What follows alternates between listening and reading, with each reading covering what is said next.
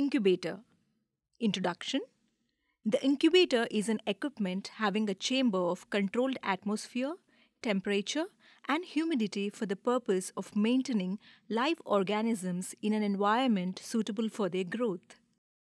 Microorganisms require incubation at the temperature and in the humidity and gaseous atmosphere most suited to their metabolism. Purpose Among its most common uses are incubation of microbiological and cellular cultures, determination of the biochemical demand for oxygen, BOD, and biological storage. Types Incubators vary in complexity and design. Some only control temperature, while others control the atmospheric composition as well. For example, carbon dioxide incubators or CO2 incubators. Some have the capacity to achieve temperature conditions below room temperature with refrigeration systems. Depending on the design and specifications, incubators control temperatures from minus 10 degrees Celsius and go up to 75 degrees Celsius or slightly more. Some incubators have CO2 injection for achieving special atmospheric conditions. Growth of diverse species of organisms and cells is favored. Principle The incubator uses diverse means of heat transference and environmental control to achieve conditions for specialized laboratory procedures. In general, these have a system of electrical resistors controlled by thermostats or microprocessors. As for the heat transference systems, the incubators use conduction and natural or forced convection.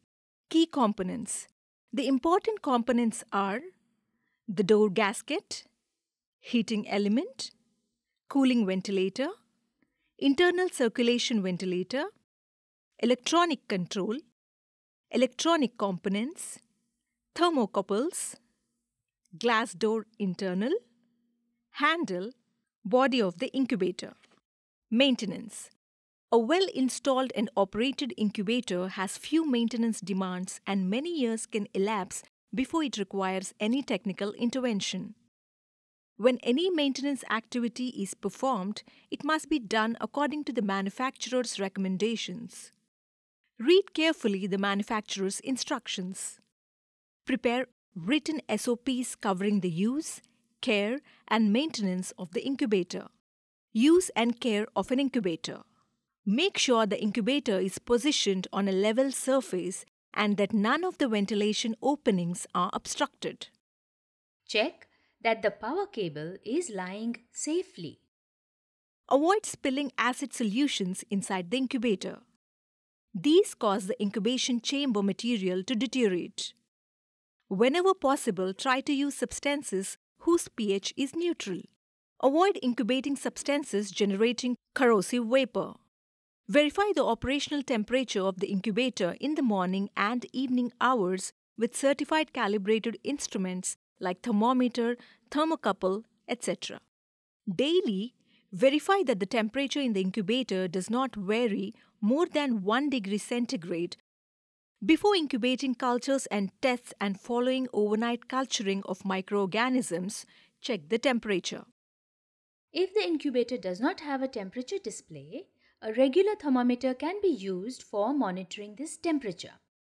Adjust the thermostat dial until the thermometer shows the correct reading, that is 35 to 37 degrees centigrade, for the routine incubation of bacteriological cultures.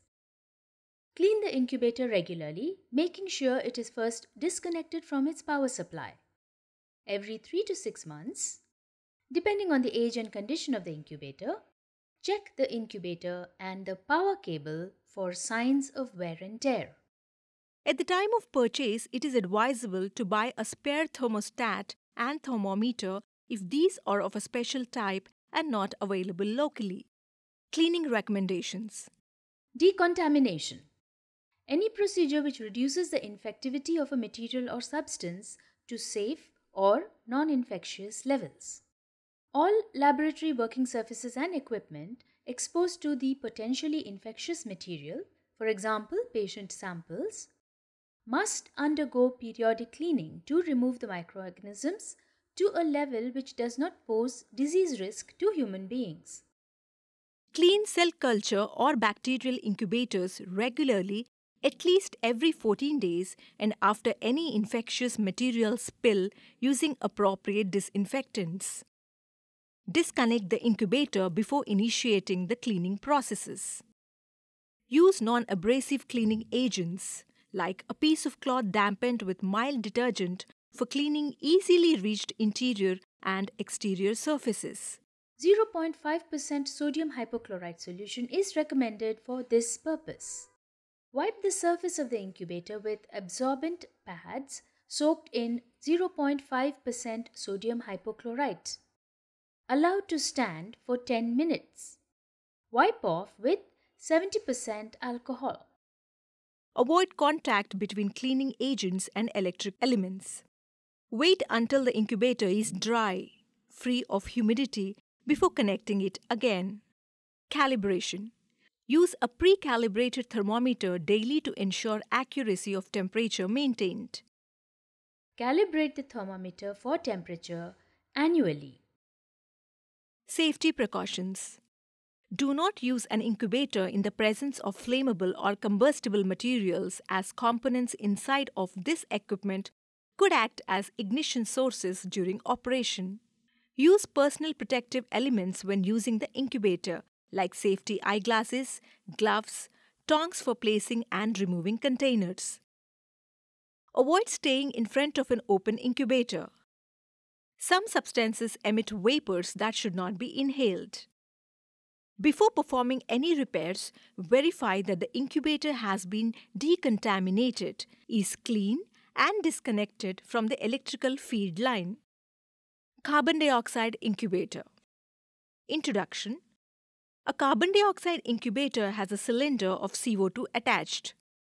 CO2 is periodically introduced incubator to maintain a concentration of about 5% to 10%.